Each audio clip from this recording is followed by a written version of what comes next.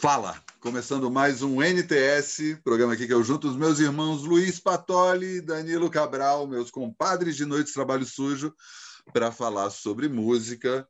A gente sempre fica falando sem parar, né? E hoje é um assunto que não tem mais fim, né? A gente vai ter que se segurar, porque senão vai duas horas fácil.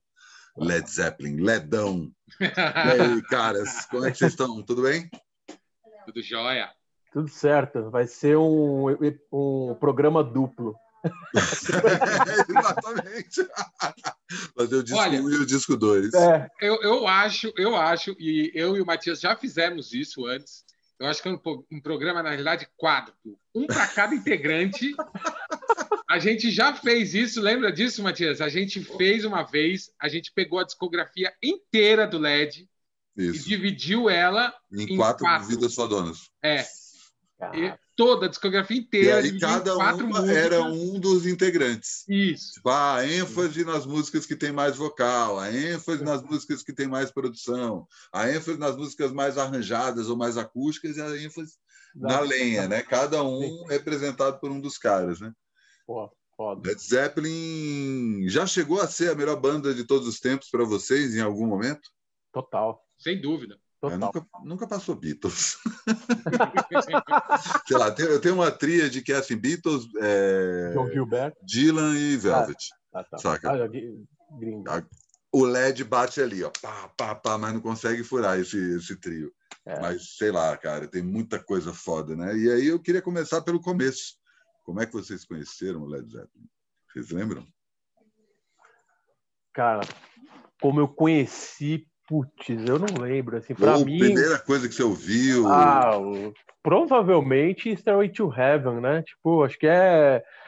Ainda hoje, assim, é um, é um, é um, é um, hit gigante, né? Assim, tipo, tava só fazendo parênteses, no final do ano tava, por acaso, tava ouvindo a Kiss FM, tava que na estrada, não lembro, sei onde eu tava sei que estava. To... Aqui faz as 500 do ano, né? E era Led Zeppelin Stairway to Heaven, a número 1. As 500 é, 2020. É, e não, e assim, eu falei da Kiss, porque eu acho que tem muito. O LED tá pro bem, pro bem, pro mal nesse sentido, está muito associado a essa coisa do classic rock, né? Assim, então. Uhum. Não, Starry to Heaven especificamente, né? A minha é... lembrança mais a forte. A parte é podre do classic rock, hein? É, isso, é. não, é Todo o estereótipo ruim do isso, classic rock. Isso que eu quero dizer, o estereótipo do, do, do, do classic rock ruim mesmo. O assim, cara né? que curte entornar cerveja na cara. É. Isso é que é rock. Calça de é. couro. É, só, não, é, não tem mais nada, depois disso nada mais bom foi feito, né? Total, esse, total. esse discurso que a gente já sabe que a gente até estava falando um pouco dele na música brasileira uhum. no, no, programa anterior e que eu acho que ele se aplica um pouco ao rock, mas é, eu estou falando especi especificamente disso porque, sei lá, li nos meus 13, 15 anos eu era roqueiro, né? E LED era Deus. É, é isso, né? Uhum. Mas aí a tua lembrança, então tu acha que tu começou, algum momento alguém tocou é. Story to Hell e falou, hum, que sonzeira. É. E tu, Danilo, lembra? Lembro. É, eu acho que eu já contei aqui num dos nossos papos, Matias, de um primo meu que, assim, que abriu a minha cabeça, porque ele gravou Sim. uma BASF 90 para mim, que um lado era o War e do outro lado era o Saba Blood Saba. Ah, sim. Uhum. Então é 45 minutos de War, 45 minutos de Black Sabbath, né? Uma de cada lado. Então quando ele me deu essa fita, a, óbvio, a primeira coisa que eu fiz no dia seguinte é levar para a escola e falar: caralho, ouçam isso aqui. Para minha galera, né? Que eventualmente uhum. não, não conhecia. E, e aí é, todo mundo ouviu, pirou.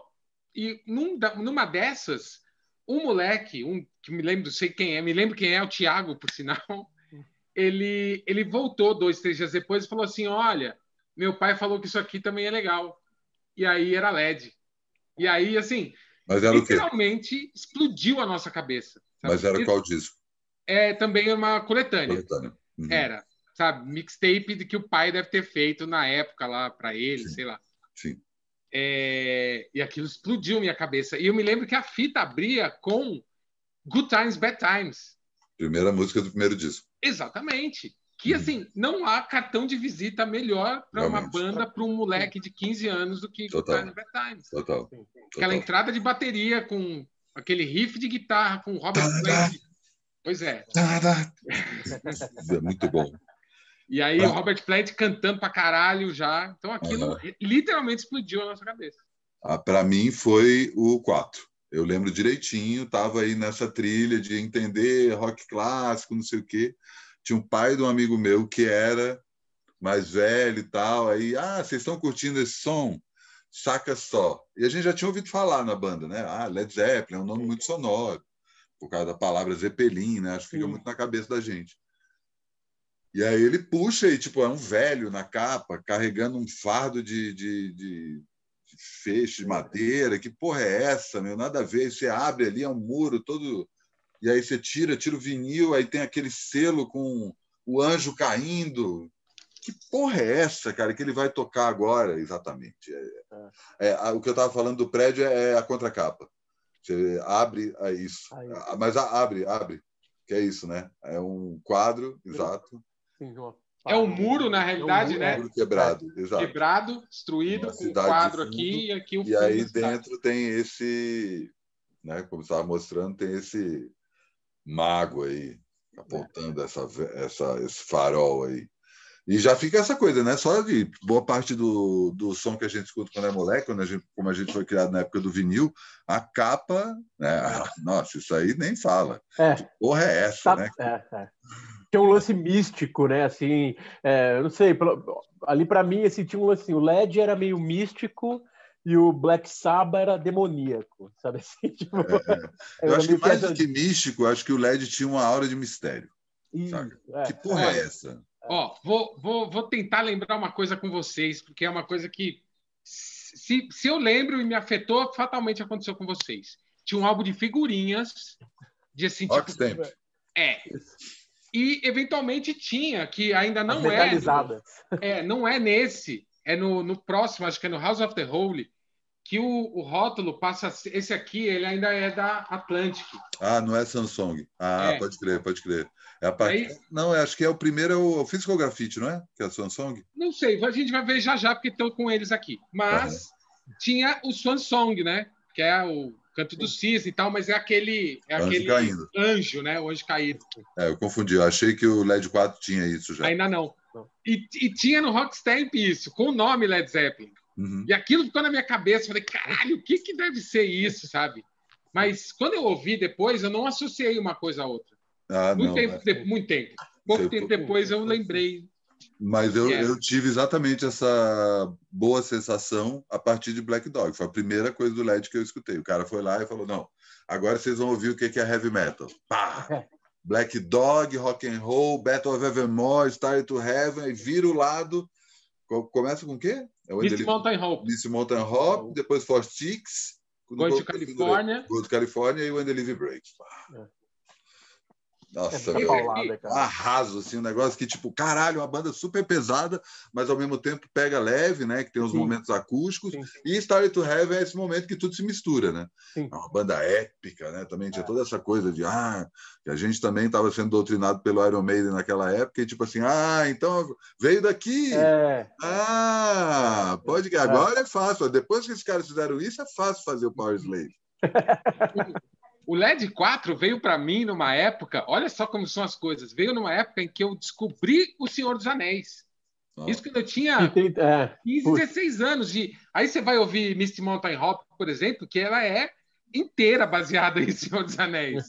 tá? Ela é tipo copiada, né? Existe o Misty Mountain no, no, no Senhor total, dos Anéis. Total, total. E acho que tem outra, Battle of Evermore também, não é? Provável. Até Starway to Heaven, né? Falam que existe essa correlação. Não tô ligado, não tô ligado, é, porque eu realmente mas, não manjo nada de Seus Anéis. Então, mas não é, é uma forçação de barra, mas Miss uhum. Mountain Hop com certeza é, né? Sim. É, sim. declaradamente. Então, essas coisas vieram juntas para mim. O 4, né?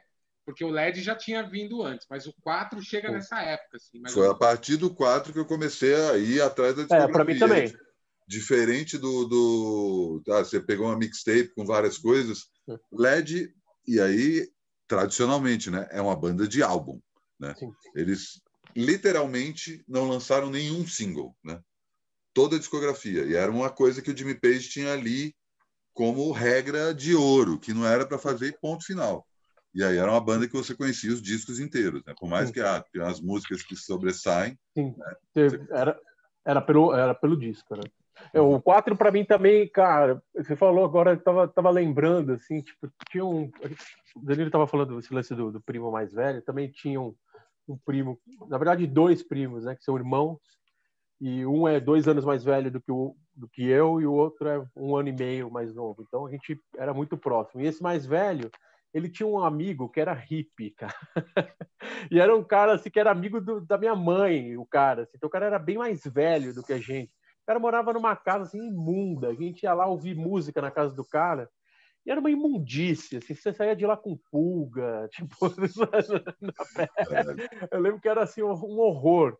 E, eu lembro muito de ouvir o 4 lá. O cara tinha o vinil do, do 4 e eu acho que a gente tá, né, a gente tem a gente é quase da mesma idade, né? A gente é contemporâneo assim.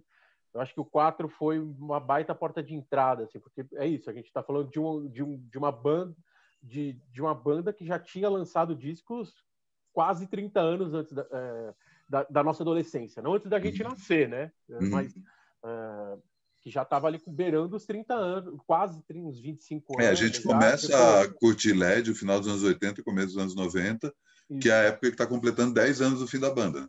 É, então, é exatamente isso. É uma banda que está inativa e que os discos clássicos já tinham sido lançados, né? Uhum. É, muito louco também pensar isso, né? A gente tá, a hora que a gente definiu o tema, a gente estava falando do LED, estava pensando exatamente isso, né? É, hoje, por exemplo, sei lá, pegar só um outro, uma outra banda também da nossa adolescência, sei lá, o Nirvana, tipo, o Nirvana hoje ele é mais velho para quem tem 20 anos hoje do que o Led Zeppelin era para gente. Na nossa época. Uhum. Sabe, é muito louco pensar total, também total. Essa, nessa... E para gente é porque para mim o Led era era banda assim. Muito gostava... velho. Exatamente.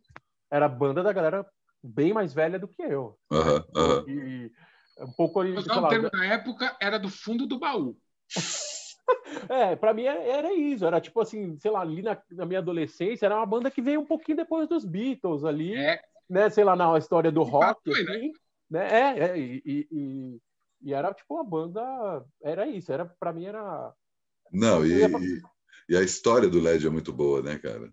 Eu adoro a história do LED, que é o Jimmy Page, sobra no Yardbirds, né, depois de Sai o Eric Clapton, aí tem uma época que toca ele e o Jeff Beck como guitarrista dessa banda, uma das bandas ali da British Invasion, do blues elétrico dos anos 60. E aí a banda acaba, só que tinha umas datas ainda para fazer e o Jimmy Page vira e fala, beleza, eu seguro. Põe aí New Yardbirds. Aí os caras de Yardbirds, não, pô, New Yardbirds não, inventa outro nome. Aí ele junta o Robert Plant e o John Bonham, que tocava na Band of Joy, e é massa hoje, né? Porque eu, aprendi essa história só com texto, né? Não tinha nada. Hoje você vai dar um Google em Ben of Joy, você escuta as gravações do, dos caras da época. É muito foda. E, e ele chama também o John Paul Jones para que já era arranjador, né? Ele trabalhava era, como o próprio Jimmy Page era músico de estúdio. O Jimmy Page, inclusive, tem a história clássica que o solo de You Really Got Me dos Kinks é dele. É, nem o solo, né? É o riff. É, né, né, né, é, o riff, né? Que é o mais riff, ainda, né? né? Não, e tem essa coisa aí que vocês já devem ter visto. Eu tava, tava, a gente estava falando disso aqui, é, do, do, tema do programa. Eu comecei a fuçar. Isso é muito clássico, né, cara? Eu vou botar aqui. Peraí. Peraí, só botar.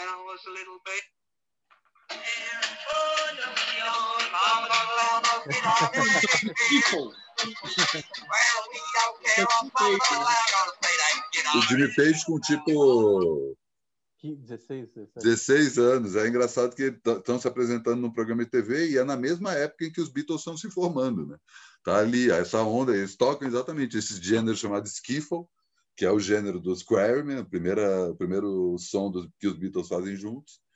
E ele já está na TV, porque ele mora em Londres e tal. E chega uma hora que o entrevistador pergunta: e aí, o que, que você vai querer ser? Como é que você chama? James Page. O que, que você vai querer ser? Você vai ser músico? Não, não, eu vou, vou trabalhar com ciências biológicas. Se, se, quando eu, se ninguém tiver descoberto a, a cura do câncer. Eu vou. Apenas. E aí Dez anos depois, ele está lá montando essa banda, chama o John Paul Jones, que, que o trabalho mais conhecido é ele faz o arranjo de She's a Rainbow, né, do, dos Rolling Stones põe o Joe Paul Jones para tocar baixo e, e, cria essa banda, né? E aí, na hora que o Keith Moon fica sabendo que o Jimmy Page vai lançar os New Yard Bird, ele fala, bah, vai subir igual um zeppelin de chumbo. e o Jimmy Page fica sabendo, ah, é? Esse é o nome da banda. Tá! E aí sai com esse primeiro disco, caça aí. Aí, ó. Maravilha, né, cara? Essa foto clássica do Zeppelin em Deburgo pegando fogo. E esse disco maravilhoso, clássico, né? Total, cara. É muito bom, cara. É muito e, tinha, bom. e tinha esse lance, para mim também, não sei se para vocês tinha isso, mas o fato de carregar, para mim, assim, essa história do, do Zeppelin era uma história, putz, sei lá, para mim permear, permeou ali um pouco da minha infância, sabe? Assim, era uma história foi, óbvio, já tinha acontecido há muito tempo tal, mas era uma tragédia, assim, muito emblemática, tipo, era sei lá, guardadas as devidas proporções, assim, era quase como uma história, sei lá, de 11 de setembro, sabe? Assim, total, tipo, total. De uma tragédia muito triste, tipo, então, assim, tinha esse lance para mim também é, da banda carregar isso no nome, sabe? Assim, tipo, caramba, tipo, a banda tem o nome de um do Zeppelin. Uma tragédia. De uma tragédia, de tipo um, um, né, um, um me fugiu, não é inflável, dirigível, né? Dirigível, isso é o nome certo. É, certo. E assim, eu, eu pirava nessa ideia do dirigível, assim, né? De, tipo, pô, tipo, né? E, e então, para mim também tinha esse lance da banda carregar o, essa história no nome. Era quase, sei lá, se tivesse uma banda que de alguma maneira remetesse ao 11 de setembro no nome, tipo, uhum, uhum. É, acho que talvez tinha esse imaginário assim para mim, né? Tipo, do, do, da banda do Zé do Zeppelin, né? Tipo, uhum. Que inclusive na no segundo disco, pega aí, Danilo. Danilo já está com toda a discografia aí na mão, justamente para exibir o segundo disco. Eles voltam ao tema do Zeppelin e posando como se fossem integrantes. Se não me engano, é a própria família Zeppelin, né? Acho que é, é isso. É, essa foto você acha fácil, a original dela na internet, você acha ela fácil. Eles estão aqui, ó. São esses quatro aqui. E a, e a foto original é a família que batiza esse dirigível, que era um. Durante muito tempo, não sei quanto tempo, acho que uns 10 ou 20 anos, foi um meio de transporte que muita gente usava. Né? Sim, Tem sim. a clássica que o, o Zeppelin é, pegava as pessoas no, no Empire State, no topo. Ah, Parava, a pessoa saía dali e ia direto para o Zeppelin. Imagina então, ó, só essa cena. Se vocês repararem a capa, a capa, essa primeira, né? Do primeiro disco, tem o formato fálico, inclusive do Zeppelin, né? Batendo na torre. Ela tá aqui, ó. Ela tá aqui no fundo, tá vendo? Sim, sim, é só o formato. Uhum. É. E continua, é, né? Vira a contracapa. Hã? Vira a contracapa. Ela continua? Não, não tem nada, né? Ela não tem ah, nada. não continua. Uhum. Né? Então ela é. tem, ela tem uma, elas conversam, né? Sim, sim, sim. E os dois são lançados no mesmo ano, né? Os dois são de 69. Isso. E já quebra tudo, né? Porque o primeiro é isso, tem Good Times, Bad Times, tem You Shook Me, tem... Ajuda aí, Danilo. Dá para ler aí, não?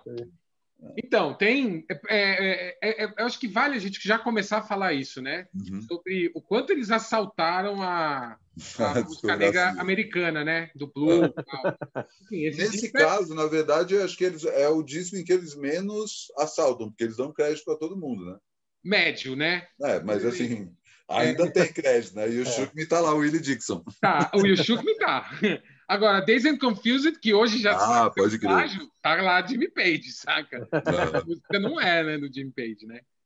É, mas, enfim, é, esse disco, o, o, o, que eu acho é, mais impressionante nele, o que não quer dizer que os outros não sejam, né?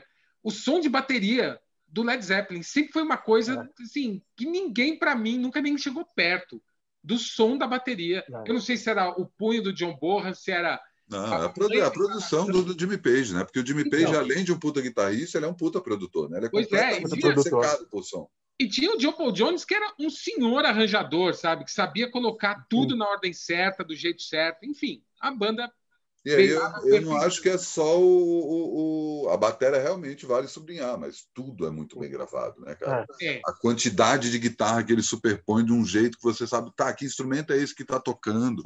E aí, ao mesmo tá, tempo. passa de um para o outro, sabe? É, e tipo, sei lá, É. música com três ou quatro violão superposto, sabe? Sim. Ele sempre está trabalhando desse jeito, sempre procura um som que não é um som que todo mundo conhece. Tem essa coisa do plagiário, isso é fato, assim. Você vai buscar aí, você digita no YouTube Led Zeppelin plágio, É, tem lá vários vídeos mostrando ó, só como era, inclusive a própria Starry to Heaven, né? Que agora finalmente parece que chegaram aí a um consenso sobre o, o plágio que foi feito em cima de uma música de uma banda progressiva, nem lembro o nome da banda agora. Mas, enfim, tem quase todo o disco do LED tem pelo menos umas seis Tem- músicas que foram chupinhadas de outras coisas. Menos outra do- coisa, uma Não. outra coisa interessante, né, sobre o, sobre gravações do LED. Nem sempre os discos foram os, tem músicas que foram gravadas nas mesmas sessões, né? Então tem isso acontece muito com o LED 3, né? O LED 3 tem músicas que foram gravadas em umas sessões e só foram aparecer lá no House of the Holy ou no Physical Graffiti. Uhum. Aí tem música do, sabe, que, que era para estar no 2 e foi pro 3. Enfim, tem, eles tinham muito isso, né? De é, Usar De gravar numa sessão e usar, usar tipo, uma coisa que já estava gravada, né? exatamente. É, inclusive tem o caso clássico, né? O quinto disco chama House of the Holy, a música House of the Holy está no Tá no registro do Tá disco. É, exatamente. Aham. Teve, teve Graffiti, né? um ponto marcante para mim no, no LED, que é outra descoberta, né? Que é a descoberta da maconha, né?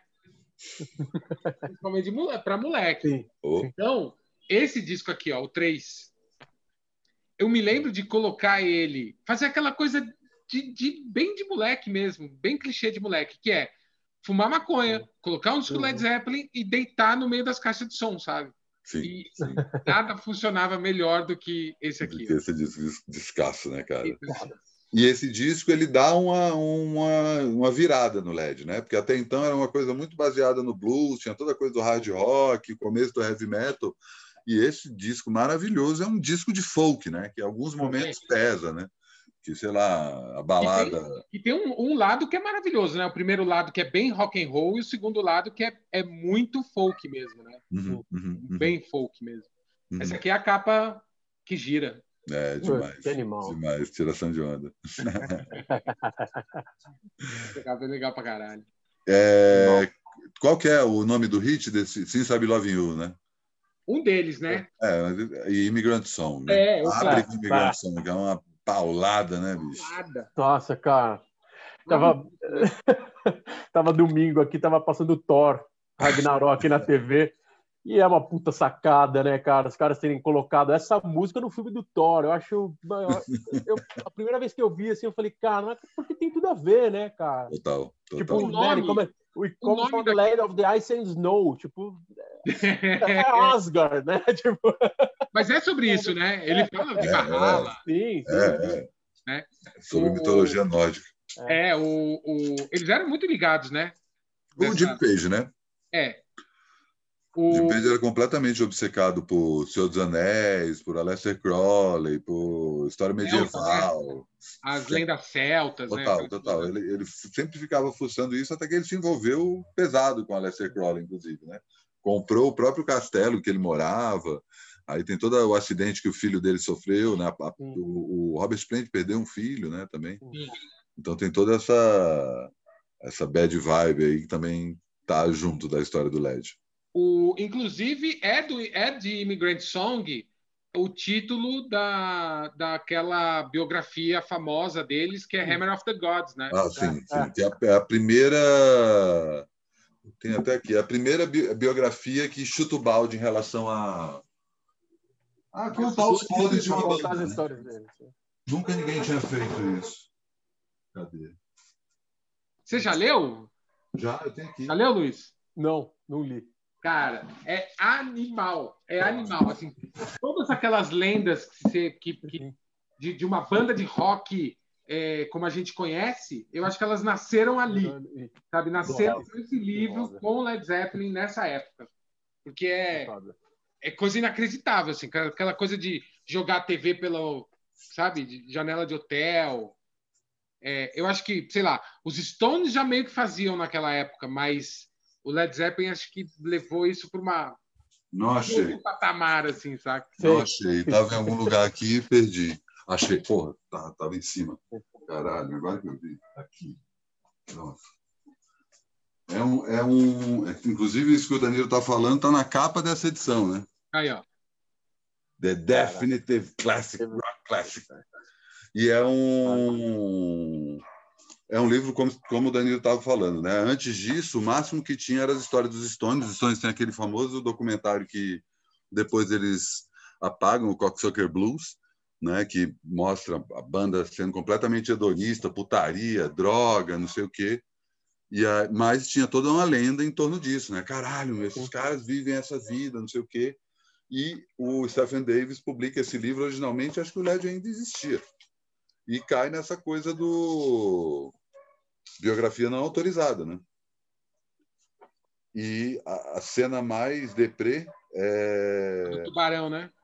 Não é tubarão, é uma truta. É.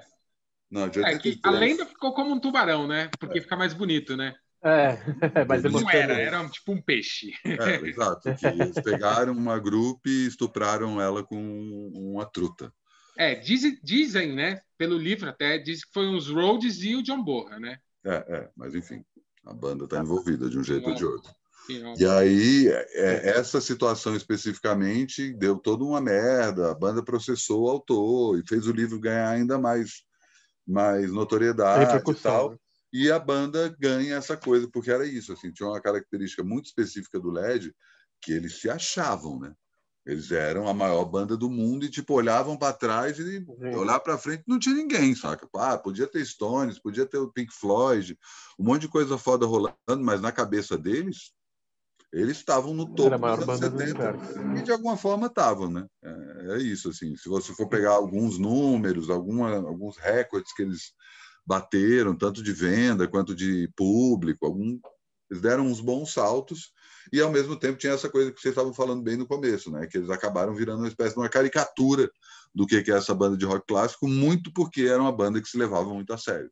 Os Stones nunca chegaram aí, porque sempre foi uma coisa, não, a gente é um bando de pirata, um bando de cigano, louco, tá? Não, o LED era aquela coisa, não temos uma missão, temos uma mensagem, a gente vai levar o rock para vocês, carregar a tocha do rock mais alto que a gente roubou dos deuses. Vou dar uma polemizada aí nesse lance, nessa história aí. É, para mim, Mano. eu ainda tenho, eu ainda tenho essa, esse, eu vou falar que é um preconceito, eu vou assumir que é um preconceito. Eu tenho esse, um pouco esse preconceito de que o LED ele começa para mim a sua fase downhill é, quando ele, ele abraça uma parte ou uma grande parte do rock progressivo, que era a moda na época, que era uma parte, uh, enfim, importante do rock na época. Então, quando ele passa a usar mais sintetizador, quando o, o, os arranjos do, do, do, do, John Paul Jones começam a ficar mais complicados, intrincados, partes diferentes, perde um pouco daquele punch do, do riff de guitarra do Jimmy Page, sabe? Mas a origem Você está especificamente aqui né? disso. Ah, os dois últimos, né? Presence e o Intrude Outdoor, né? Uhum, é, mas eu acho assim, isso que você está falando de alguma forma já está no Physical Graffiti. É. Já, mas o, mas o Só que é o Physical Graffiti ainda, eu acho. É, é eu acho. Dois, ó.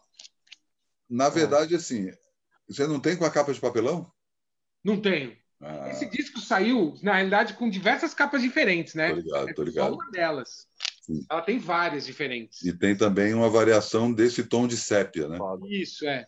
E é originalmente nem... ela vem numa capa de. de é que nem o 2 do Legião Urbana, né? Você sabe como era a primeira edição do 2? que é rarésima, né? Que é, é. é a capa invertida, essa é. parte aqui de dentro é. para fora. Exato, exato. Era papelão e até hoje os caras não conseguem acertar a cor exata, né? Então fica meio bege, meio amarelo, meio laranja.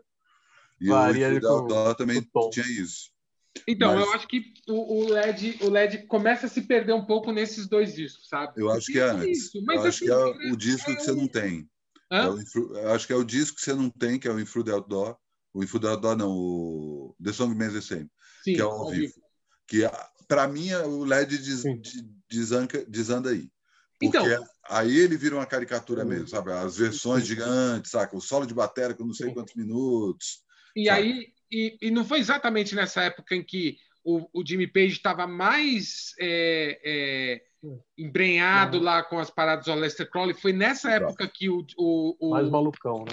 O Robert Plant sofre um acidente lá e fica com a, na cadeira de roda, tem que gravar o disco seguinte na cadeira de roda, né? Uhum. Ele grava, se não me engano, House of the Holy, né? Na cadeira de rodas. Não, House of the Holy é bem antes. O Physical Graffiti. Acho que foi o Physical Graffiti, não lembro, né? Não lembro, não lembro. Bom, enfim, ele grava um dos dois na cadeira de roda. Ele perde o filho também. É tudo mesmo, mais ou menos nessa época. Isso, é, isso é, o, é a época do Physical Graffiti. Physical Graffiti. É. O Physical Graffiti tem, é o momento que o, o Jimmy Page está mais pirando, tanto em produção quanto no Aleister Crowley. E é um descasso, né? É um disco é. perfeito. É o melhor disco é. Mas vamos, antes de, de ir para esse aí, falar do House of the Holly também, que é outro disco perfeito, né, cara? Pelo amor também. de Deus. Que também tem uma. Putz, eu esqueci de pegar, que eu tenho uma edição que a capa é azul. Você já viu, Danilo?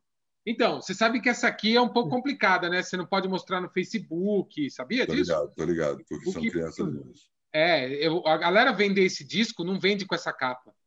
Coloca, acho que a capa da, do meio, que sei lá, sabe? Ah, pode crer, pode crer. Enfim. Mas tem uma versão que, em vez de ser laranja, é roxo. É, ela, é, ela é, é. é, o negativo dessa capa, né? Isso, isso. Ela é invertida, é o negativo. Exato. E é um disco perfeito, né? É um é. disco de ponta a ponta, meu. Ele começa com. The Song Remains the Same. Exatamente. Aí depois tem Rain Song, música maravilhosa. Over the Hills and Far Away. Tem. Qual the que é a última? É the o Crunch. The, The Crunch, que é muito foda. Aí abre o lado ah, B. E o lado B, que é um lado B, talvez, sei lá. O melhor lado B da história. Um dos melhores. É, isso que eu ia falar. Peraí, peraí. Abbey Road, cara. Abbey Road. Abbey Road começa com Comes the Sun e tem o medley, cara. Peraí, peraí. Calma. Pro Abbey Road. É. é, mas é isso. Começa com Dancing Days, né? Dancing Days. E aí, vem cá. E o, nome, e o nome do reggae? De onde vem? Vocês sabem? Sim. Por que, por que, que tem esse nome? Como é que fala, Luiz? Você sabe o nome do reggae? Não. Não, o nome da ah. música. Ai, putz, é. De, de, putz, eu não lembro. Die Maker. Die Maker, né? Não é Die Maker. Jamaica. Jamaica. Jamaica. Caraca, essa eu não sabia. vamos fazer um reggae? Vamos, vamos batizar de como? Jamaica. Jamaica. Jamaica. Ai, caraca, não sabia. E aí a gente, eu lembro que era moleque, não, Dire Maker. É, tava Dire Maker. e ele não fala, que porra é essa de Dire Maker? Que nem fala na música, não, pô, é Jamaica, caralho. É, porra. E aí continua com um. No quarto, no quarto, no quarto, nossa. No quarto eu, eu, eu, foi uma música que eu aprendi a gostar, que na época eu não curtia. Sim. Primeira vez que eu ouvi, e aí no quarto já tem um pouco isso que tu tá falando, é uma música meio prog. Tem, é. total. No quarto. Tecladeira, é, o vocal então, distorcido. É. Então, Sete no minutos. Quarto, no quarto, para mim, tem uma coisa muito louca, porque é, o Joe Paul Jones usa aquela. usa um teclado com aquela caixa Leslie. Caixa Leslie é uma caixa que roda. Tem um, um dois microfones dentro da caixa e fica umas caixas rodando dentro da caixa. Três que caixas. é o que o John Lennon gravou, botou o vocal do Tomorrow Never Knows. É, é essa mesma caixa. E ele usa, e o efeito é inacreditável. Então, quando você ouve de fone essa, essa música, ela vai de um lado para o outro com, aquele, com a caixa. É, é impressionante. ele usa, acho que é um Melotron, se não me engano, o Pode teclado. Pode ser. E aí termina com The Ocean. Oja, né? Pelo amor de Deus, cara. Aquela música que você pode botar no repeat ali e descer para a praia. É. Sim. Esse disco é maravilhoso, maravilhoso. Provavelmente, como vocês, eu cheguei no The Ocean depois de ter ouvido o riff no Beast Boys. Né? Sim. Na hora que eu ouvi, caralho, LED, meu, como assim? Que foda! Mas não é essa. Mas tem The Ocean, não tem? No... Não. O, os Beast Boys não. Qual que é, então? Tem. O que tem, o que tem é. A primeira música do primeiro disco do Beast Boys é que tem a bateria de When the Live Bricks. Tum, tá, tum, Obrigado. Tá, com o riff de Sweet Leaf do Black Sabbath. Essa é a junção tem um riff. Não, eu tô, ó, eu tô viajando. Eu acho que é o Planet, exatamente. É. o Planet que toca The Ocean. Isso. É a não, base mas... de The Ocean, né? Mas tem, ele, ele canta uma outra letra por cima, né? Não, sim, é, é uma música deles. Ele é. só, só sampleia o riff. A do LED chama. a do LED. A do LED. É. Adoled. É Adoled com, se eu não me engano, como se fala, né? Não é tipo É. Adoled. E fica parecendo uma palavra em inglês, assim. É. né? Adult. É isso aí, Caralho. pode ir. A Pode do Adoled. Pode. Não, olha aí, olha aí. Eu tô, não tô. Ó, é, The Ocean é um. ap- aparece em X-Craft. E tem Hum, um pode trecho de Custard Pie in Time to Get You. Tá. Além do, do- da bateria que você falou. Os, os beats do, do, do John Bonham, centenas de vezes foram É. sampleadas, né? Pois é. Centenas. Não, e era, e era. Vocês lembram direitinho, né? Na época que apareceu o sample, todo mundo falando: imagina você pegar a bateria do Led Zeppelin, a guitarra do Jimi Hendrix e o vocal do Public Enemy. Você Fizeram. isso. rolou. Aí, rolou. E aí, passando House of the Holy, a gente chega nessa obra-prima maravilhosa. Physical Esse, né? Vocês estiveram lá? Eu tive lá.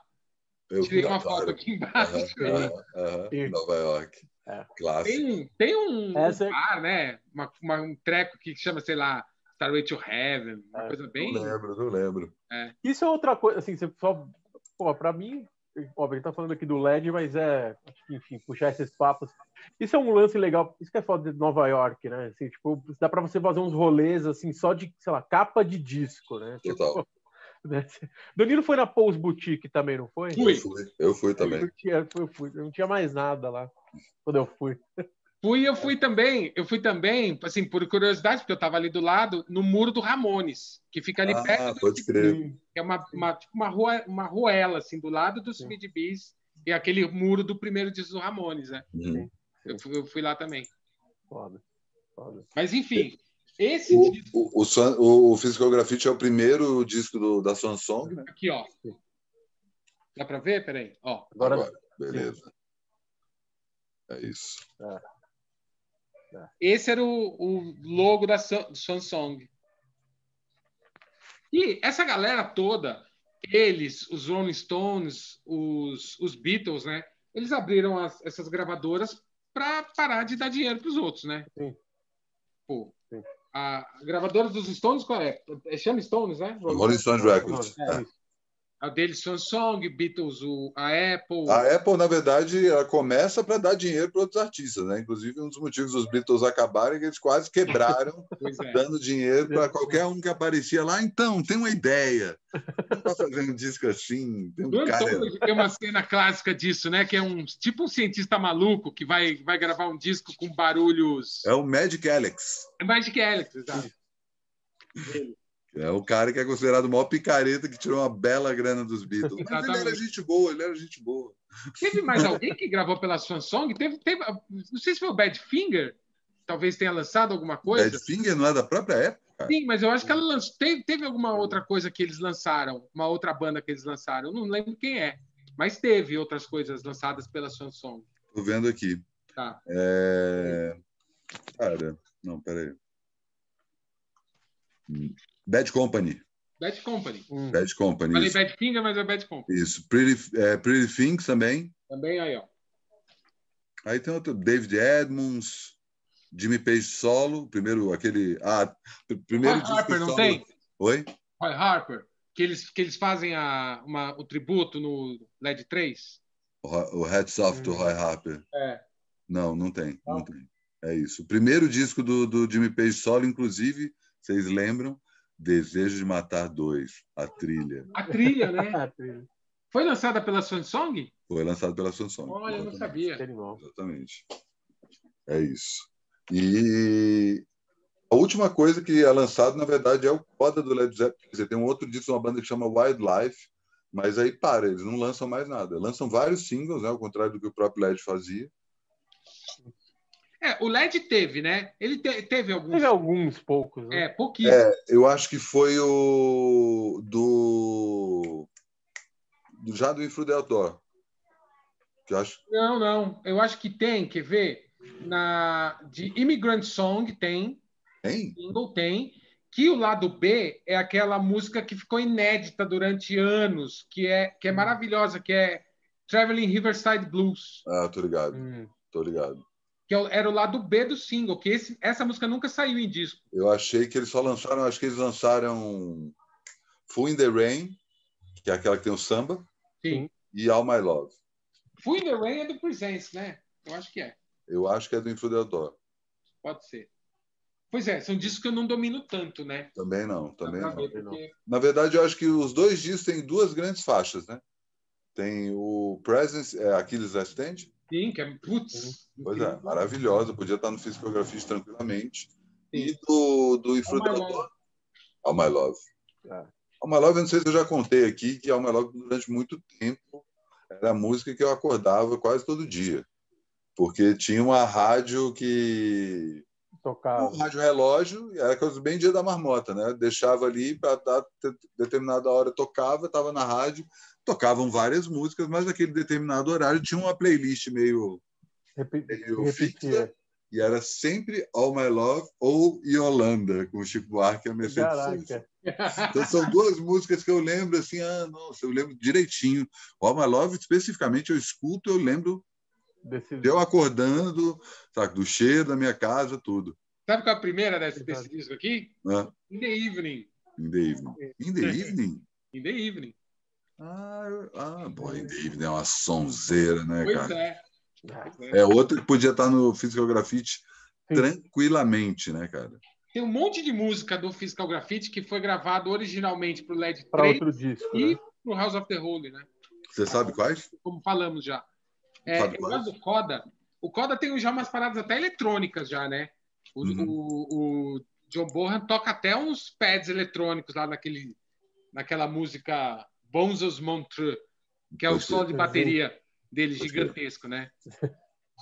Em compensação, para mim, esse disco, que é um disco póstumo, né? Saiu depois da, da banda ter terminado, é We Gonna Groove, que era para ter entrado no primeiro disco, no segundo, se não me engano. É uma das melhores músicas do LED, na minha opinião. É Eu bom. amo essa É música. foda. E ela só entrou, ela só apareceu no último disco deles, né? Que é, ó, que tem essa colagem de fotos que é incrível, né? Mas é muito, muito foda.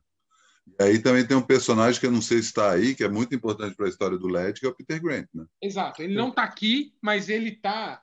Ele é uma das. Eu, eu acho que não vai aparecer, mas ele é uma das figuras que aparecem na janela aqui do Physical Graffiti. Dependendo de como você colocar, né? Para quem não conhece, Uhum. dependendo de como você coloca, ficam pessoas Muda, diferentes sim. nas janelas, né? Uhum. A capa é vazada, ó. Tá E como... Uhum. E aí, dependendo do que você coloca. Uma dessas pessoas é o Peter Grant, que é o. o... Um empresário que é o, o- a epítome do empresário escroto.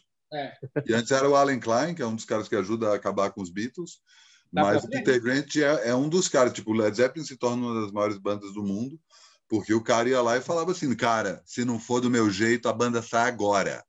Ninguém vai tocar aqui. Inclusive Tá. no próprio Song Man the Same, que em português, o filme, né, chama Rock é Rock mesmo.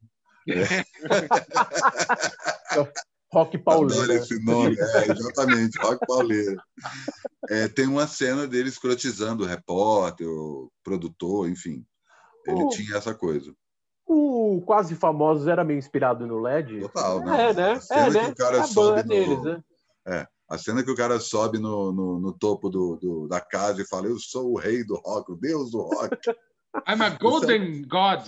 É, eu sou o Deus deus dourado. dourado. Nossa é puro, puro Robert Plant.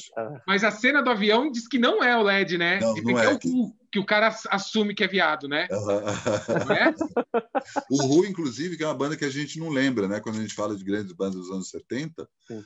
Eles estavam ali, saca? Pink Floyd, Stones, LED e Ru. O Verdade. Keith Moon ainda não tinha morrido e eles lotavam o estádio. Mesmo depois da morte do Keith Moon, né, tem o clássico show que eles fazem em Wembley, se não me engano, com a abertura do Clash, né? Nossa. Imagina isso, cara. É, porque não, Existe uma rixa, né? O Clash não, não, não topava muito o Led Zeppelin, não tinha esse, esse papo de. Não sei, não sei É, sobre. Eles tinham esse lance de. Mas é, é, é aquilo que a gente até falou no programa anterior, né? De gerações É. conflitarem com gerações anteriores. Anteriores. Aham. Eu acho que o Clash, como veio imediatamente depois, e o Clash, obviamente, uma banda punk, é, tipo, era um... aquele lance do rock progressivo que o LED, naquela época, 77, 78, 79, já era assim, né? Eles já eram, já tinham muito teclado, já muito sintetizador.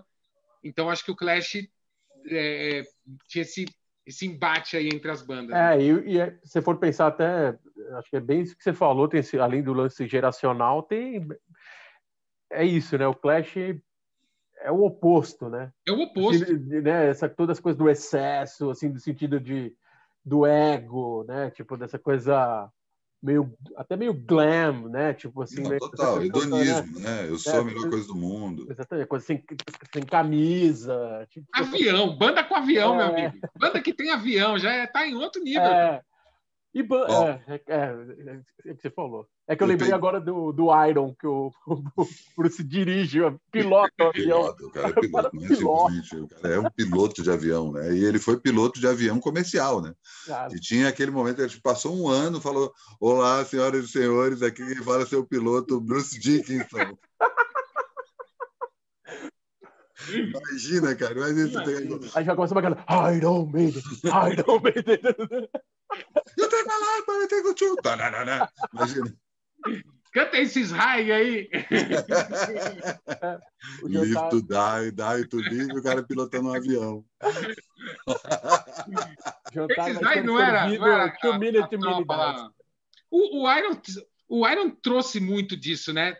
O recupera, ou não é recupera, é, ele continua essa essa tradição, né? de letras de metal com, com um imaginário. Ah, isso, uma coisa meio fantasiosa. É, acho, se né? não me tipo engano, o Steve Harris, que é o principal letrista do Iron, é professor de história. Ah. E aí o lance é, diferente do LED, as, as referências do Iron eram todas históricas. É, muita Segunda Guerra, né? É, não, Segunda Guerra, é, Guerra Civil Norte-Americana. The Trooper é Guerra Civil Norte-Americana, é, Power Slave é no Egito, Tá aí um bom tema. Seven Sun, Seven Sun. Tá, tá aí um bom tema para um próximo programa. É, é, mas vamos também desopilar para não ficar muito é, senão, metal, metal, né? No próximo a gente faz aí o, o especial de artistas, a gente faz um, um Beto Barbosa para dar uma desopilada. É, latino. Não, mas isso, aliás, isso é uma coisa. Isso é uma coisa. Isso é uma coisa que eu, que eu queria falar, queria discutir com vocês. E hoje? Qual será a importância do LED hoje? Ela existe? Ela é relevante? O LED é relevante? O que vocês acham? Eu acho que sim, pelo mesmo motivo que a gente falou no começo, que ele é, bem ou mal, um símbolo dessa época. Né? A gente não é. comentou aqui, é uma coisa quase que tácita quando se fala em Led Zeppelin, são quatro puta músicos, três, ah, é. todos excelentes no que fazem, assim, tem essa coisa da, da excelência mesmo. Então, nesse sentido, eles estão num patamar que poucas bandas chegam, né? Poucas Sim. bandas. Você pode puxar aí várias bandas, mas, tipo, banda que todos os músicos têm o mesmo peso, até Sim. o John Paul Jones, que ele fica até um pouco mais na sombra, até por seu papel musical na banda, é um cara ali que está ali no mesmo patamar, não tem o que falar. Só, né? só, você pensar nessa frase que você falou, né? Tipo, John Paul Jones em segundo plano. tipo, quando? Não, é, o lance de segundo plano é justamente porque ele trabalha ou fazendo arranjo ou fazendo baixo. É. E aí acaba criando a base, ele não está no primeiro plano, junto com a guitarra e com o vocal, ou como a própria batera, às vezes se impõe, né? O próprio John Bohan, e aí vale falar, reforçar essa questão da importância, ele foi um dos caras que popularizou o solo de bateria, né? Então, se, se bandas fazem solo de bateria até hoje, eu não sei se fazem, mas acho ah, que fazem.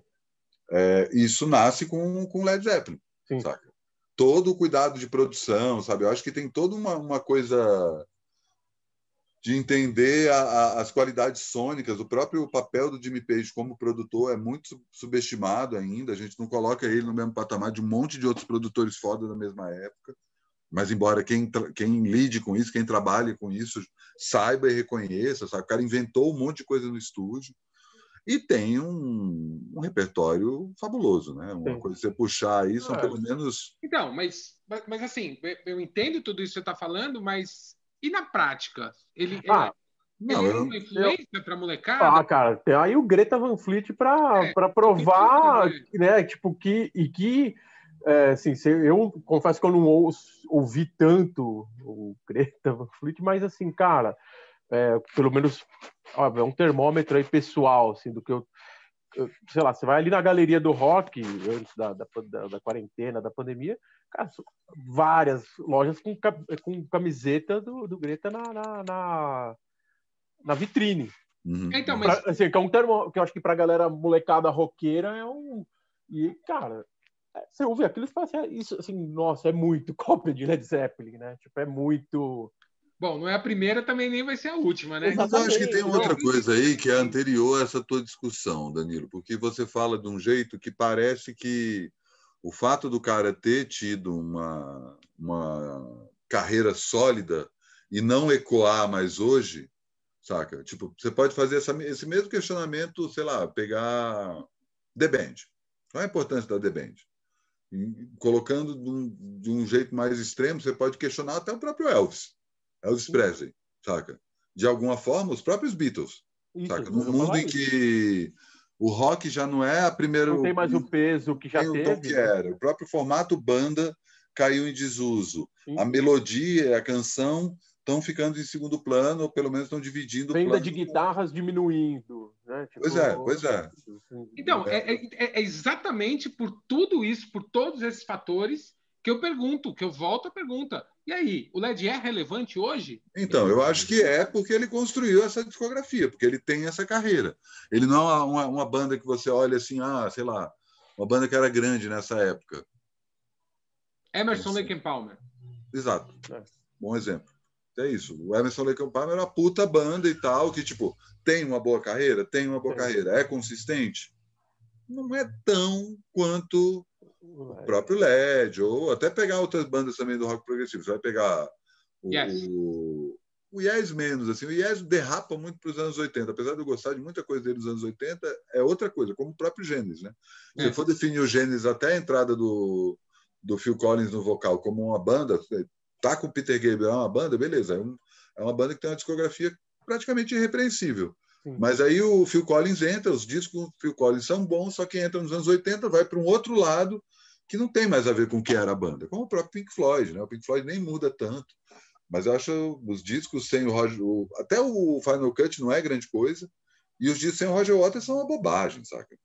Eu, sinceramente, não consigo. Então, o, o, LED carrega isso, né? Ele nunca, ele terminou, terminou, acabou, morreu o John Bonham, acabou, a banda. Acabou a banda. Então, teve um, sabe, uma sobrevida ali que levou a trabalhos menores, sabe? Apesar... É 10 anos de banda, né? É, apesar de que eu achar que os dois últimos ali, né? Insisto nisso, os dois últimos discos, para mim ainda é uma Já... queda Sim. significativa. Sim, com certeza, com certeza. Sim. E tem um negócio que é isso, assim, eles só eles porque é isso, a banda acaba basicamente porque morre o John Bonham num clássico evento em que ele toma 40 doses de vodka, isso já foi, não, não é bem assim, mas enfim. O cara entra como alcoólico e, não, e tá junto com o Jimmy Page, né? O Jimmy Page é, se sente responsável por isso, assim, pessoalmente, é o motivo que é isso. Acabou. No último a piada, disco... A piada é que ele tomou 40 doses de, de vodka com suco de, suco laranja, de laranja, e um rolinho de presunto, né? E foi o rolinho de presunto que matou ele. É, literalmente foi isso. Se você pegar a autópsia dele, tem isso no estômago dele. Cara. Então, falam é. que foi o rolinho, né? É. e aí eles lançam um disco póstumo, que é uma compilação de várias coisas que eles já tinham feito antes, chamado Coda. Para quem não sabe, Coda, é, em notação musical erudita, quer dizer o último trecho do, de uma música que ele é repetido várias vezes, é o Nanananá do Rei hey Jude. Uhum.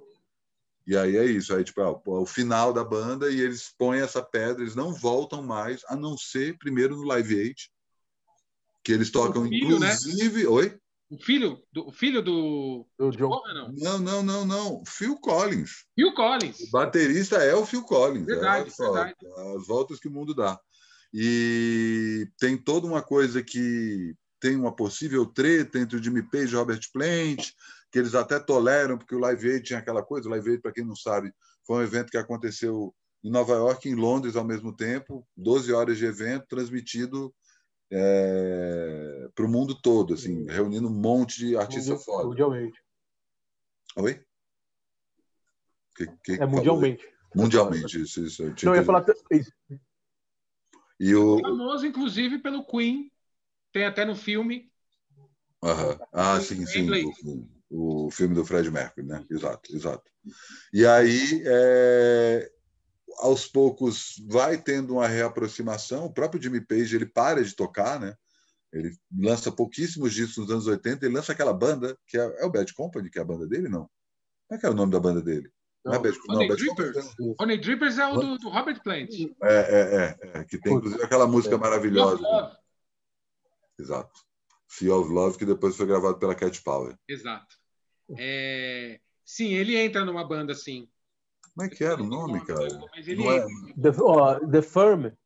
The Firm, The exatamente, Firm. exatamente. Que são discos que são rechaçados pela, pela crítica, só que aí ele lança aquele disco com o David Coverdale. Coverdale Page. Ah. Exato. E aí já é uma coisa que na hora que o Robert Plant vê assim, pô, vai se fuder, vai chamar o David Coverdale, bicho. Para com isso, cara. E aí eles vão lá e reatam no meio dos anos 90 e fazem o famoso show Page Plant. Como é que era o nome do show, do disco? No Quarter. No, no Quarter. quarter. A Regravando... né? É, que era Tomar da Tour também. Regravando todo um monte de clássico do LED em versão acústica. Na época do auge do acústico da MTV, não é um acústico MTV, mas poderia ser tem uma inédita, né? Ou duas inéditas que eles gravaram naquela época lá. Não lembro. Não, não eram do LED, é, tem. Aí, logo depois disso, é, tentam uma reunião, né? Dos três. Exato, exato. Logo depois, não, dá um tempo, né? É. Isso é, acho que a, a volta do, do LED é tipo 2009, 2010. É, isso a gente tá falando 95, 96, certo? Isso. É, exato, é a época do. Isso. Que foi show aqui, né? Não, Isso, é, Hollywood Rock 96. É, é o, o, o ele tem um, um, um, um acústico da, da, MTV mesmo, que chama inclusive Unleaded. Lembra? Unleaded. Exato. Aí depois eles lançam Caraca. o, o Quarter, que inclusive Sim. vem, vem para o Brasil, toca, tocou no Pacaembu e nós tivemos a oportunidade de ver essas duas lendas ao vivo, embora não nos conhecêssemos à época. Né? Não. É verdade. Mas dividimos o mesmo espaço. Exato. Respiramos o mesmo, o mesmo ar. Mesmo ar. É, é. Como é que é a escalação aí do, do Hollywood Rock desse dia? Desse dia é, é Raimundos, Urge Overkill, Black Rose e Page Plant. E você foi assistir o Black Rose? Fui. ah, fui, cara. Putz, Óbvio, já gostava do, do, do Jimmy Page e do Robert Plant por conta do LED, óbvio. Mas o Black Rose ali era, putz, era a banda, era a banda da minha vida em 96. eu me lembro que foi mó climão, assim. É, os shows do Black Rose eram meio climão, né? Tinha umas, eu me lembro de tinha uns é. caçais, assim, umas velas no palco, uns é. tapete os, não, tapete, isso, era, isso era do, do, do, próprio show do Page Plant, né? Então, mas acho que foi, foi a mesma coisa, ele foi a mesma vibe. Black Rose também. Foi a mesma vibe. É. É. Mas eles Isso, usaram só... o mesmo palco não? Trocaram, né? Não, trocaram. Ah, trocaram. Mas eu digo a vibe, assim, sabe? Tipo. É. Aliás, só, só você perguntou da escalação. Esse foi a segunda noite, né? No sábado. Quer dizer, acho que era um sábado. Porque a primeira Isso, noite foi Chico, eu, fui, eu fui nas três noites. Chico Sainz, Nação Zumbi, Cidade Negra, Steel Pulse, Aswad e Gilberto Gil. Aí ah. depois a segunda noite essa do, do Page. E a última noite, Pato Fu, Supergrass, White Zombies, Smashing Pumpkins The Cure. E The Cure. The Cure tocando duas horas e meia. Foi foda esse show. 96, cara. e... Depois disso, depois disso, por sinal, o Jimmy Page toca com o Black Rose. Eles Exato. fazem uma turnê juntos, que aliás é inacreditável. É, tem disco, um disco duplo, né? Duplo. É, é, é. Live at the Greek, se não me engano, né? Que é o, o, Black Rose fazendo a banda de apoio para o Jimmy Page. Live at the Greek, é isso aí. É. E não podemos esquecer da conexão baiana de James Page, né? Demorou por um bom tempo. Inclusive está saindo um livro agora, né? É, é. Livro é. Um brasileiro. Na Bahia, né? É, exatamente. Ele morou no, no... Foi. E durante muito tempo eu morava em Brasília, sou filho de cearense, a gente passava pelo, pelo interior da Bahia de carro, né, quando estava indo para lá. E chegava em Lençóis, o povo falava: não, então, Jimmy Page mora ou morou aqui, era muito uma lenda urbana, sabe? Era muito engraçado. E aí tinha. Muita gente achava que era, que era piada, mas. Era aí, mentira, né? E aí teve um dia que, pá, não, tá aqui a foto do cara. E aí Olha. tava lá a fotinha do cara no mesmo bar que ele tava almoçando. Essa coisa de, essa coisa de roqueiro, Olha só, é, Jimmy 70, Page no Brasil, o livro chama é do Leandro Souto Maior. É publicado pela aquele Garoto FM Books, que é que é a mesma editora da Cris Fuscaldo, que lançou Discografia Legionária e Discografia Mutan- Mutante, que ela disseca os discos tanto dessas duas bandas. E agora está lançando aí esse do Jimmy Page. essa história do Jimmy Page ter morado no Brasil, que era lenda urbana, mas agora está relatado aí. Confirmado. certinho, Exatamente, nesse livro que saiu esse ano. Tem várias, tem o, o- Brasil tem várias muito dessa conexão, né? A gente falando agora do Jimmy Page, mas teve teve episódio clássico da Janis Joplin com o. Sergei. Os Stones, né? Os Stones vieram para cá e ficaram uma temporada no interior de São Paulo. Aliás, eu fiquei sabendo uma história, é, pode, obviamente ela não é inédita e pode não ser inédita para todo mundo, mas eu não sabia, fiquei sabendo agora que teve uma dessas dessas vindas aí que o, o Mick Jagger teve no Brasil e ele quis porque quis gravar com músicos brasileiros. Uhum. E aí é, era o André Midani que intermediou essa essa história porque era da O Eric Clapton, não não tô- é o Mick Jagger Mick Jagger, tá? Então, Vou- eu, vou, eu vou chegar no ponto que ainda. Por que, que eu soube dessa história? É, o André Midani reuniu uma galera que tinha, sei lá, Antônio Adolfo no, no, no teclado e o Dade, o, o baixista, o Dade, da Cor do Som, né, maravilhoso, meu ídolo, chamou para gravar uma música. Essa música foi gravada, ela existe. O que, que acontece? A, a, a coisa de meses atrás, dois, três meses atrás, os Stones lançaram uma versão nova do Goat's Head Soup, um dos Uhum, discos sim. dos Stones dos anos 70. E aí tem essa música. Colocaram essa música, Solange, alguma coisa assim, é um nome. É um Vale, nome de mulher, se não me engano. É, é- é Scarlett, Scarlett, exatamente. que é com Jimmy É essa música que eles gravaram no Brasil, só que a versão que colocaram lá não é a versão gravada aqui. Então, ela, é- essa versão existe, ela está gravada, só que não é essa versão que saiu agora no, nessa faixa bônus do Ghost Head Soul. Uhum, uhum. Mas, enfim, isso tudo para falar dessa conexão brasileira, né, de gringo com, bra com o Brasil, né? Lenny Kravitz, né? Lenny Kravitz, eu ia falar do Lenny Kravitz. Lenny aquela- Kravitz no Planalto. Pois é. É. Tem aquela a, a fazenda do Lenny Kravitz, né? É, O que eu, o que eu achei que tu estava contando é quando o Eric Clapton vem para o Brasil. O empresário do Eric Clapton era o Robert Stigwood, que é o cara que faz aquele, aquele musical inspirado no, no Sgt. Peppers com os Bee Gees. Sim. Ele estava ali no topo. Ele, ele, era, ele também trabalhava com aquele Andrew Lloyd Webber, que fazia musical. Acho que o Fantasma da Ópera era dele. Então, é o cara que estava ali, meio dos anos 70, ele mandava. E ele veio e fala para o Brasil: e ó, tô levando o Eric Clapton no Brasil ele quer tocar com a galera. E aí chama o Midani, o Midani faz lá e junta toda a galera. E aí começa todo mundo a tocar um som, não sei o quê. Chega uma hora que sobram só quatro. Quatro, cada um num violão. Gilberto Gil, Jorge Ben, Eric Clapton e o Cat Stevens. Senhora. Cat Stevens estava lá e pá, chegou lá e começaram a tocar. Aí chega uma hora que o Cat Stevens vira e fala: Não, desisto. Eu não aguento isso, não. Não, não tô no nível de vocês. Os caras continuam tocando e chega uma hora que o próprio Eric Clapton desiste. Sobra só Gil e, e Jorge. E os dois começam a, a tocar e tocam a madrugada inteira, tocam sem parar. Quando acaba ali o dia amanhecendo, os dois suados, todo mundo pasmo com o que estava acontecendo. O Midani vira e fala assim: Ó, foi foda isso, já pedi- reservei um estúdio aqui, essa semana vamos lá. gravar. Gil Jorge, Xangô Ogum, disco que todos nós Sim. conhecemos e amamos, inclusive citamos na última edição, nasceu dessa forma. Como a própria história do Acordo do Som, né, Danilo? Pô, que também é o Midani.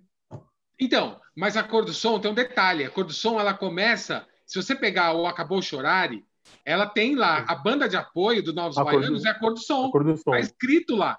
Então, ou seja, o depois, depois Mas- que o, o- Mas não era o saiu- acordo do som que a gente conhece. Não, não era. Era o Pepeu, era o, o Dade, o Pepeu, o Dade, o irmão do, do Pepeu e o baterista que eu não lembro quem era. Mas é, é, o que acontece?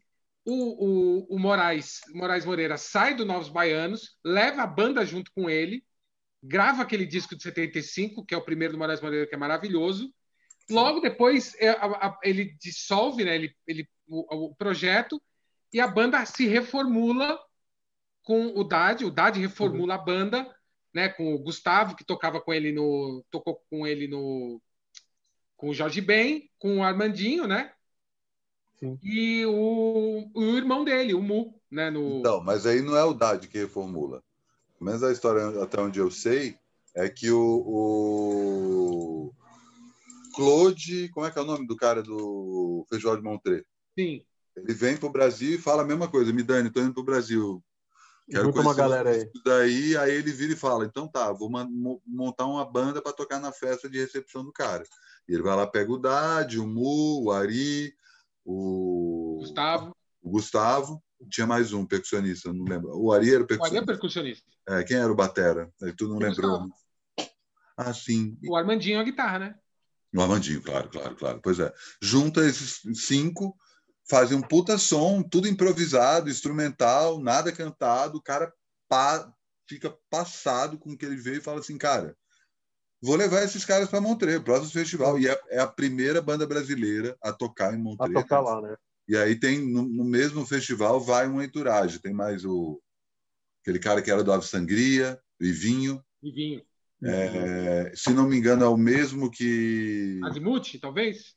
Acho que sim, cara. Enfim, mas essa é a história do, do Acordo do Som. A gente já saiu do Led Zeppelin. É isso que eu ia falar. Mas a gente está faltando o quê? Justamente o Celebration Day, né? Que é o disco. que, é, Tem a gravação que eles fizeram na Arena O2, que foi lançado. Que eles gravaram em dezembro de 2007 e é um, um filme, um disco, um show em homenagem ao Armin Tetegan. Quem é a bateria? É o filho do John É o, fi- é o Acho que é filho filho do... do. Eu tenho quase certeza. No Brasil, quando eles vieram tocar no Brasil, não era, né? Jason Bourne. Não. Não, Quer dizer, putz, agora eu não lembro, hein? Não, não era. não, Não não era. era. é Acho o que mesmo não era. não, né? do... É. Eu acho que do, do, do LED, do LED, enfim, da banda que acompanha o LED era é, não era ninguém, era músico de estúdio, assim, não era músico famoso de banda nenhuma, Sim, se não me engano. tipo a banda do Paul, né? É. E aí só, o... só a banda do Paul, né? É, pois é, mas enfim, a gente conhece porque a gente conhece o Paul, né? Mas o, o- eles fazem esse último show, que eles se reúnem pela última vez. O Robert Plant não gosta do resultado e resolve não continuar, o que deixa o Jimmy Page putaço, porque era o momento que ele queria fazer uma turnê mundial, relançar os discos, saca? Justamente levantar aí o legado dele, pra até se isso realmente acontecesse, com certeza a tua pergunta sobre qual a importância do Led Zeppelin hoje em dia teria um outro eco, né? Mas voltando a ela, eu acho que o principal é isso. Eles acabaram fazendo uma obra tão coesa e, e única, né? que tipo ninguém soa como Led Zeppelin, né? Ou quando soa, acaba soando demais. É o caso do Greta É. Van Fleet. Então é, é, um, é, um, é uma sonoridade perfeita, é, tanto em termos de criação artística quanto em termos de é, produção fonográfica, que está lá como referência para quem quiser ver, entendeu? É, é, é, ela, o LED, para mim, é, é mais uma daquelas lajes, né? Ela, ela criou um padrão ali, ela tem um padrão da laje, muita coisa foi construída em cima dela, né? Em cima de tudo que o LED deixou ali. Sim, Eu acho que, total. principalmente durante os anos 90, principalmente, é, e muito dessa da geração grunge, inclusive, cara, eles empunhavam uma guitarra porque tinham ouvido LED. É. Que ouviu o Tommy Iommi, ouviu o Black Sabbath, ouviu, sabe? Até que cai na caricatura, e aí vocês devem lembrar perfeitamente, né? Quanto mais idiota, melhor. O filme lá do Mike Myers, que o cara vai numa loja de guitarra, pega uma guitarra para testar, toca a primeira nota do, do Star to Heaven, o cara põe a mão na guitarra e aponta a placa. Proibido, Proibido tocar tocar Star to Heaven.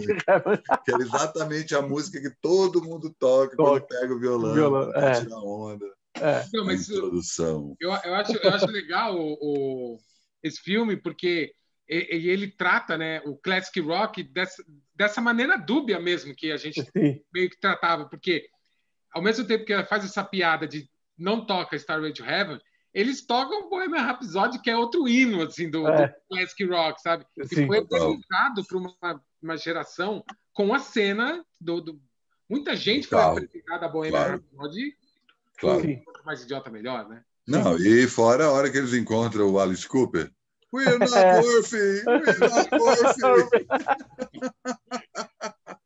Esse filme era. Putz, cara, assisti esse filme também. Os dois, né? A É, continuação também é boa. É, é, eu assisti também 300 vezes esse filme. Era. Por que, que eles não fazem mais outro? Podia fazer um outro, né? É, cara, isso é Eles, divertido. eles eram do Saturday Night Live, não eram? Isso, isso. É, é um dos primeiros programas, o quadro do Saturday Tirando os Irmãos Cara de Pau, né? Os Blues Brothers, mas é um dos primeiros quadros do Saturday Night Live que consegue fazer um filme e virar. E depois vieram vários. Né? E tinha o lance de ser meio. Tem um lance ali meio eu, MTV, né? Tipo, Ah, que ele tinha. Wayne's World, Wayne's World. Que era... Não era MTV, era o fato de que É, tinha é, muita é, TV a cabo nos é. Estados Unidos e, qual, e aí tinha essas TV a cabo local. TV comunitária, né? Exato, exato. Que era praticamente comunitária, só que não. Ah, o cara vendia lá não sei quantos canais. Não, agora você pode ter 100 canais. Aí, tipo, produtor de, de, de emissora mesmo, tinha, sei lá, uns 30. Pô, mas como é que a gente vai encher os 70? Ah, dá para Ah, essa bota galera aí da é. cidade. É. E aí o povo fazia uns programas super toscos, Cidade Alerta Sim. da Vida, incluindo esse que era tipo um. Um É, programa se de- eu vou parar para pensar, é tipo um Beavis and Butthead também, né? É, era, era total um Beavis and Butthead. Os caras eram meio, muito toscos, né? Tipo, Tava assistindo TV e falando merda. Party time. Né? Uma das camisetas do Oi? And Butthead. É o Metallica e ACDC, né? É, é isso aí. É. É isso aí. Camiseta, né? Esse Eu achava que tipo. tinha o LED ali também, mas Não, era. Não, não, não, tá Vocês quase. têm- Vocês têm camiseta do LED? Não, não tem.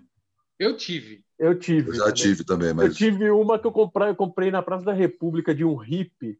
que O cara fazia a camisa com um saco de arroz. Putz! Eu tinha uma do Pink Floyd e uma do LED. muito bom. eu tive, tive camiseta do LED, porra. Muita. Eu não tive uma só, não, eu tive várias. Eu O tive só LED um. foi uma banda muito importante para mim durante muito tempo. Não, e ao mesmo tempo, toda essa coisa do, da parte visual rende umas belas camisetas. Né? Ah, é. Porra. É, é, Até hoje. mais, mais pelo que veio depois do que a própria iconografia, né? Eu, eu acho que aquilo que a gente estava mostrando do, do LED 4, que é o, o Zozo, né? Eu não sei como é que se fala. É Zozo, É. né? Que a galera Zozo. fala. esse aqui. Ah, olha isso aí, caralho, hein? Essa é a caixa, né? É, É um, é um CDzinho duplo. Pois é, mas isso foi É, da, originalmente da, lançado como uma remaster, caixa. né? Remaster, exato, É. começo dos anos 90. É, isso. Tá aqui. É inclusive no Remasters que sai Traveling Riverside Blues pela É. primeira vez, né? ou é no BBC Sessions? Não lembro. Não, não, acho que é no, no, no Remasters acho que tem três faixas inéditas. Pode ser. É, Essa aqui, né? Isso. isso. E É, também aí- não tem como eu falar isso aí. Não, não, não tem, mas o povo fala Zossô porque parece. É, porque tá o escrito primeiro, isso. né? que é- É o Jimmy Page. É o Jimmy Page. Isso.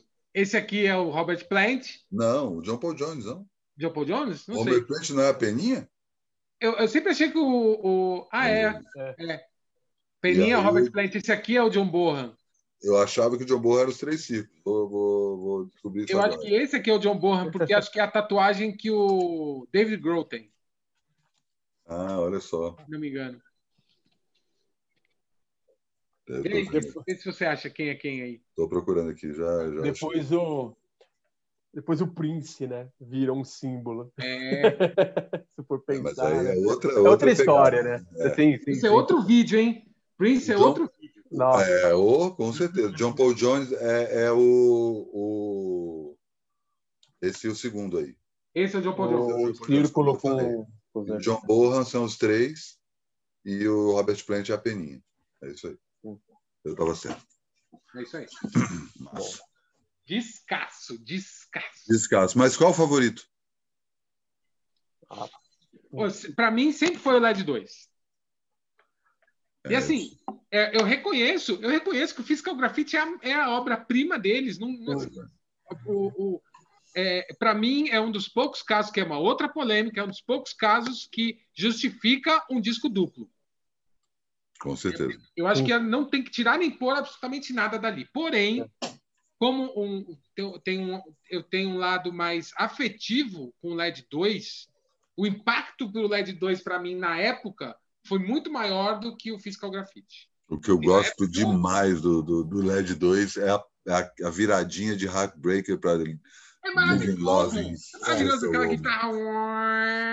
Não, não, não, mas na hora que para, aí Sim. volta outra música. Você acha que vai continuar a música? É, Heartbreaker! Heart... Ah, é Living Love Maze, né?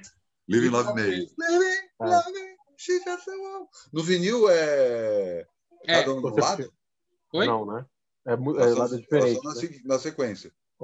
São, são na sequência. Ah, tá. primeira, primeira do lado A, do lado B Tá. e a segunda do lado B. do lado B. É, eu, cogitava que de repente podia ser a eu última ser. Heartbreaker e esse efeito só dava no CD. É, o, o efeito que eu acho legal é o efeito que tem de Friends para para Song. esqueci o nome. Não, Ah, Gallows Pole. Celebration Sim. Day, Celebration Day. que fica aquele e aí entra a guitarra de Celebration Day. Nossa, maravilhoso. Essa essa passagem de uma para outra. Animal. Mas era mestre em fazer isso, né? É. Total, Jimmy Page. É. E qual que é o teu favorito, Luiz? Ah, é o 4.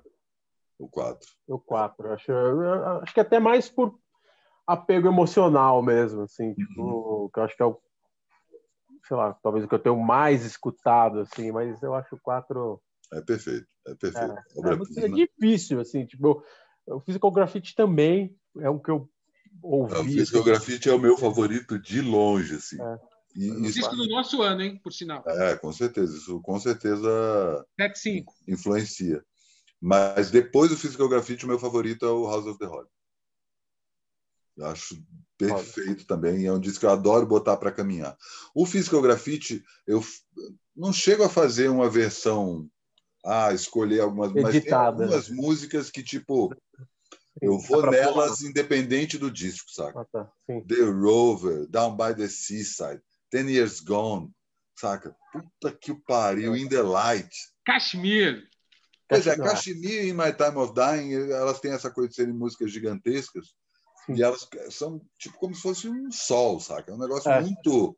Elas dominam o disco, né? Sim, Você escuta o Physical Graffiti pela primeira vez, o que fica na cabeça são essas travessias no deserto e no meio da, da Índia, né? sim.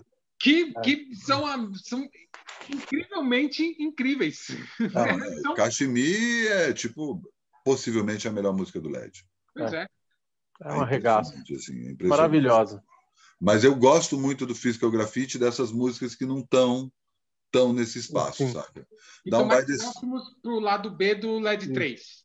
É, Down by the Seaside parece uma música do, do sabe? É, É, é bem isso, assim, é uma parada que, tipo, ah, a gente pode fazer tudo. Ele tem, como o próprio House of the Holy, o Physical Graffiti tem essa coisa assim, somos uma banda que tem uma amplitude enorme, a gente pode fazer tudo. Que era o que eles já vinham fazendo desde o primeiro disco, né? Os dois primeiros menos, mas a partir do terceiro eles começam a sinalizar isso. Só que o Physical Graffiti, exatamente pelo motivo que o Danilo falou, né? Por ser um disco duplo, são 15 músicas, se não me engano, é, eles conseguem ainda mais fracionar. Ah, a gente vai fazer isso, e isso, e isso. E, cara, tem uns momentos ali de chorar de bom, cara. Adoro, adoro. É Escasso. É isso. Ouvirei, ouvirei, porque vou, vou separar algum LED para ouvir e acho que vou separar o Physical Graffiti. Vai no, no disco 2, cara. Vai no disco 2, porque o disco 2 é tipo, sei lá, cara. É um outro, outro patamar. Tem aquela Night Flight. Nossa, que sim. sonzeira, cara, que sonzeira. O Cara, eu eu vou Bonham falar. Tá, Jim Bonham tá alucinado nesse disco. Ah, Ele tá alucinado. Assim. Todos, todos, cara. É, é a voz mais bonita do, do Robert Plant, cara. Talvez que pau a pau com quatro, né? No- Eu acho que é no- esse que ele gravou na cadeira de roda. É, eu não, não Eu acho, que lembro. foi, assim. acho que foi o Physical Graffiti. Eu achava que era um disco posterior, mas Tenho enfim. quase certeza que foi o Physical Graffiti. Uhum. O que, que tu ia falar, Luiz? Não, eu ia falar, cara, putz, sabe o que é o pior, assim, pra mim é que Cara, só tenho conseguido ouvir LED assim com mais atenção no, no fone, porque a Bia, minha esposa, não curte. Ah, caralho. Ela, ela não gosta nem de Pink Floyd nem de LED, cara. Então, assim, putz, é, é, Mas existe uma resistência para o LED, né? Eu até entendo, assim, porque é, é, é também é. Se ele influenciou para uma parte boa, ela influencia, o LED influenciou a parte ruim do rock, assim, na, na minha, no meu ponto de vista, sei lá, tipo, o hair sim, metal, sim. sabe? Sim, Toda aquela sim. geração. É, ela não gosta dessa afetação. De Los é. Angeles, sabe? Todo metal, né? É, é, não todo metal é. Vou, vou não, é o que você estava falando de fundação, cara. Sim. O LED, o LED, o, LED o Sabá. Né? Tipo, Sim, todo eu, eu, entendo, mas do, do, mesmo jeito que, sei lá, que o LED influenciou, sei lá, o Rage Against the Machine, ele influenciou o Poison. Uhum. É. Então, é, teve a parte ruim teve a parte boa. Então, teve a parte do Rage e teve a parte do Poison. Então, é, é. eu ainda até entendo que uma galera torce o nariz por causa é. disso, sabe? Porque, claro, claro. sei lá, é, eu acho que teve antes, pode até ter tido antes, mas quem inventou o vocal mão de alface lá, fazer ah, não sei o quê, é. provavelmente foi o Robert Plant, sabe? Mão de alface. Mão de alface. Provavelmente foi. Não sei. Mão de fogo. É. Então, provavelmente foi ele. Tinha um fotógrafo que eu conhecia que fazia uma coisa assim quando ia fotografar banda de metal, que era assim: imagina que você está com uma bola de basquete em cada mão. Agora imagina que você está com uma bola de tênis na boca. Agora aperta todas as bolas ao mesmo tempo. É isso. Ai, então, eu entendo a Bia não gostar. É tem um lado clichê que é meio mala mesmo. Né? É, e eu, eu até entendo que volto a insistir nessa, nessa, nessa questão, né? Principalmente porque você falou que ela também não gosta de Pink Floyd, que é esse flerte do, do LED com o progressivo. É, é. Sabe? Pode ser que ela tenha aquela coisa de caralho, você não vai aguentar ouvir uma música de nove minutos, é, é sabe? o cara isso, fica é três isso, minutos na mesma nota do teclado. É, não dá, né? Boa. Ah, então... Manos, deu para dar uma bela geral aí, né? Deu. Foi massa aí o papo, sempre um prazer conversar. Queria saber de quem está assistindo aí se curtiram, se gostam ou não de LED, se a partir disso vai começar a escutar, qual o seu disco ou música favorita. Palpita aí, dá like no vídeo, aproveita, assina o canal, aperta o sininho, toda essa. Surgiram temas também. Surgiram temas. A gente está, inclusive, abrindo aqui uma novidade no programa, que a gente vai falar de alguns artistas em alguns programas, não só falar de gênero musical. Se quiserem sugerir outros artistas, façam o favor. É isso. Valeu, manos. Mais um. Valeu. Vamos falando aí e até o próximo.